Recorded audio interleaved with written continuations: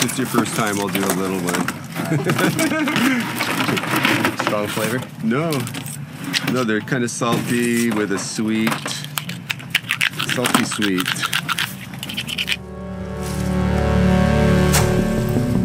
So this is Grassy Bar Oyster Company. It's a family business that my son and I started.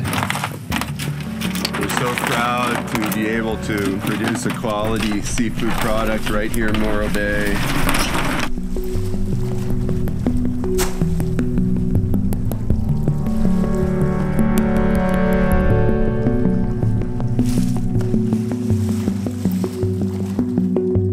It's really privileged working in an estuary. It's such a special environment. And uh, the battles that we fight here for clean water, sometimes I feel isolated alone, but really we're part of a global effort to protect and take care of the estuaries of the world.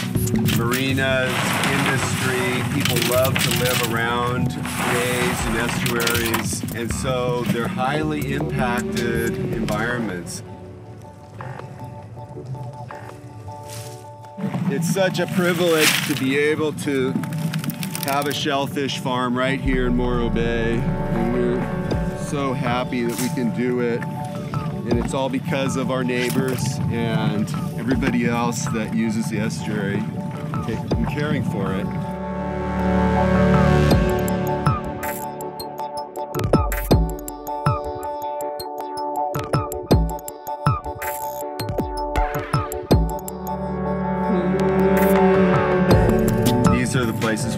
Shellfish grow, where oysters thrive. They love the interface between freshwater rivers and the ocean.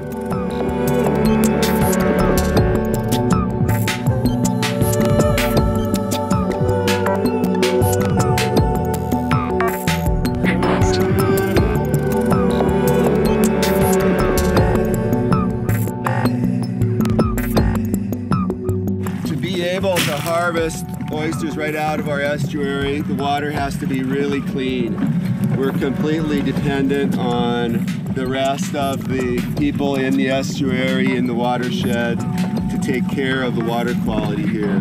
The harvest of oysters is highly regulated by the health department, and we can only do it if the water testing shows that the water is very clean. These small cocktail-sized oysters are all, probably almost all going to be eaten raw. That's why it's especially important that we take care of the water quality here.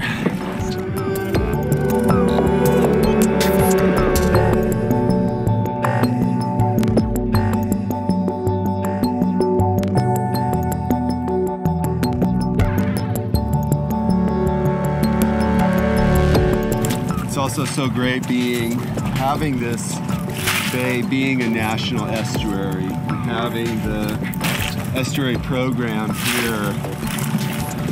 They've been such a great partner, protecting some of the natural land so that it can filter the water better. The things the estuary program does help us directly. And so, so glad that they're here.